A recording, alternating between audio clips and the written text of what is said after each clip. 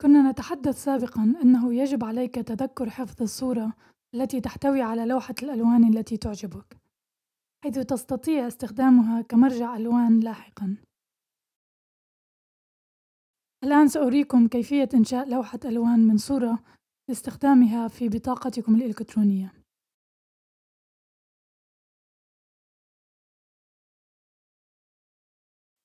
سنستخدم برنامج جامع الألوان المجاني Adobe's Free Color Picker.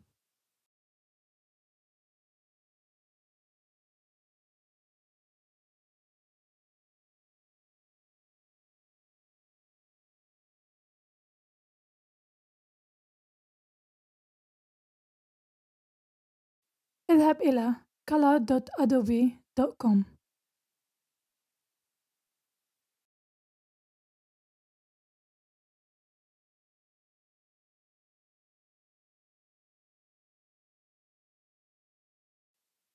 لرفع الصورة إلى الموقع اذهب إلى أيقونة الصورة في أعلى الزاوية اليمنى وأنقر فوقها.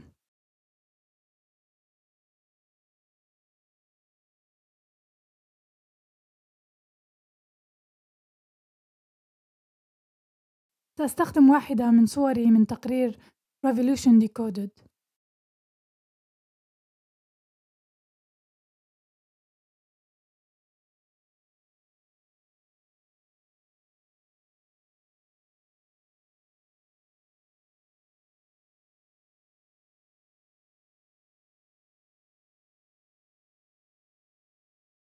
كما ترون سيقوم البرنامج تلقائيًا بالبحث عن الألوان التي تتطابق مع صورتك.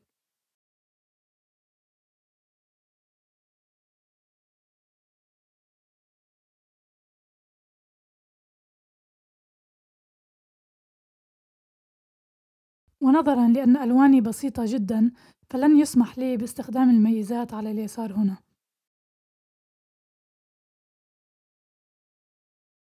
ولكن لو قمت برفع صورة لكان قد سمح لي باستخدامها وهي تساعدني بشكل أساسي في اختيار الألوان الأفتح والأغمق وما إلى ذلك. اختر أسلوبًا للوحة الألوان التي تعجبك في أعلى اليسار.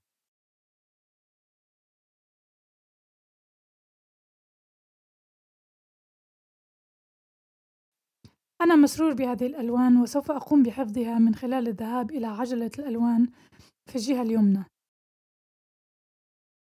والتي سوف تعيدك إلى الصفحة الرئيسية. وهذه هي لوحة الألوان الخاصة بي.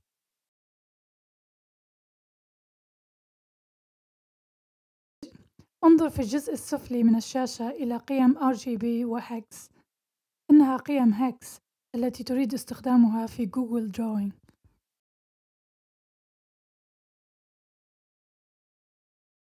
لذلك اكتب ملاحظة خاصة بالأرقام. كما يمكنك توسيع القائمة لمعرفة قيم CMYK سجل هذه القيم إذا ما كنت تريد استخدامها مرة أخرى.